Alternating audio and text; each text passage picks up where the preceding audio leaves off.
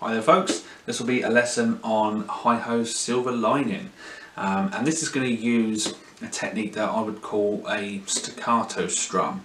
So what we're going to be doing is strumming our chord and then we're going to cut it short by muting the strings with our right hand. Okay, so you can do this, you can get away with this with a thumb or with a finger or plectrum, whatever you like.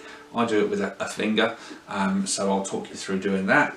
Um, and and that's it really. You've got your staccato pattern through the verses, and then a little bit of strumming in the chorus. Um, just normal strumming. We'll have a look at that when we get there. Um, so we're starting out with a D chord, and what we're going to do is do two bars worth of downstrokes.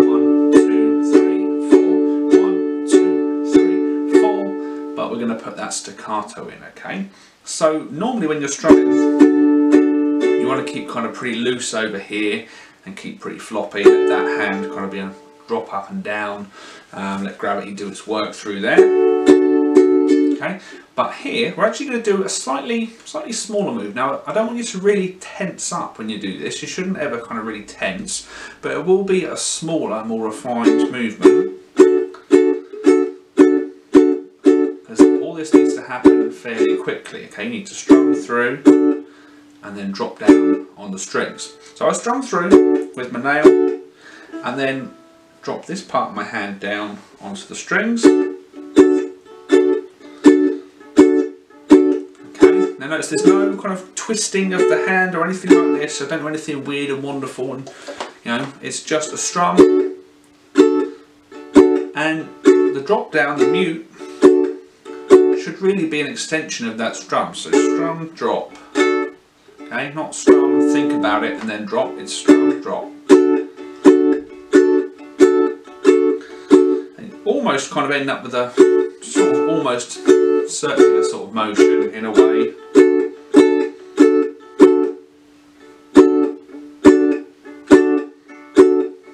Okay, so that's the staccato strum, that's what you need to crack. So do that real slow until you can get that flow. Now when you're doing this staccato strum, um, it can all be done off of the right hand. Okay? So you strum and you mute over here, whatever your chord you're on. Some people, um, and I do this myself occasionally, like to kind of pulse the fingers in and out in the left hand as well. So you may see me do that occasionally.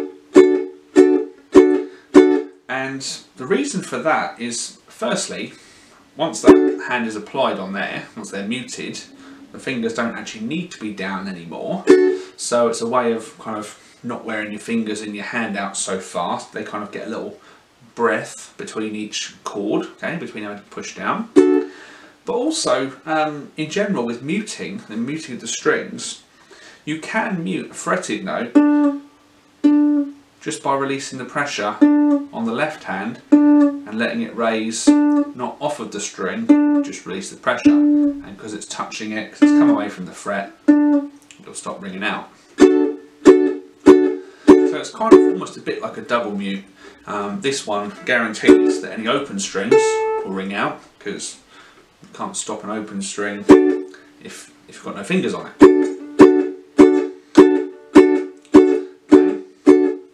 So if you want, you can practice kind of pulsing those fingers in and out. You might find that kind of helps the technique, help keeps those notes short. Or you might just want to focus on keeping it down and let the right hand do the work. Okay, it's up to you. So as you go through the song then, throughout the whole verse, you're going to use that staccato technique. Okay, so you've got D,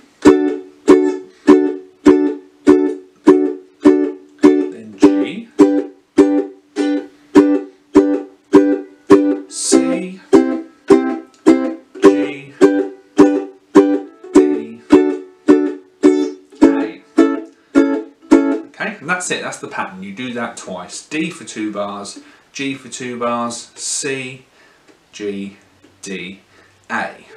Okay, do that twice and then you're off to the chorus. Um, and on the approach to the chorus, um, you can stay muting on the A.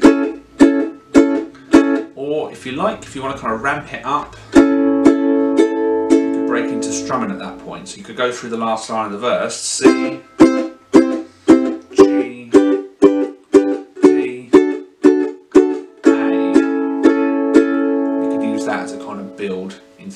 chorus if you want, okay? I think I've played it on the video as, as muting, but you could build at that point if you want, up to you. Um, when you hit the chorus then, you're going to be doing uh, a pretty consistent strumming pattern here through most of the bars, which is going to be down, down, down, up, down. There are other patterns you could use, but that's a nice simple one. You've probably got enough on your plate thinking about that staccato rhythm. Um, but I like to break into a strumming pattern here in the chorus because if you know the song um, and you've played it live before, then um, the chorus is a big kind of sing-along moment. Okay, even if people don't know the words for the rest of the song, they probably know the words for the chorus, okay? And they're all up on their feet, drinks spilling over the person next to them, singing along to Hi Ho Silver Lining. So breaking into strumming at that point, that gives the song that lift. You also then get the effect of when you get to the end,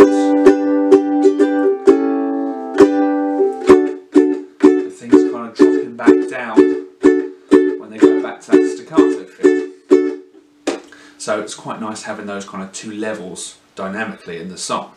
So strumming wise then in your chorus, I said it's down, down, down, up, down. Um, and we've also got a kind of swing feel going on here as well. We're not down, down, down, up, down.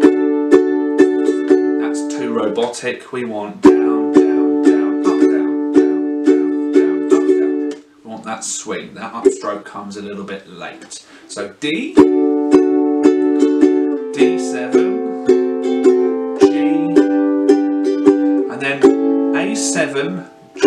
Okay, this is going to be two strums on each chord the first time. Then you go through again, D, D7, G, then one strum and one strum there.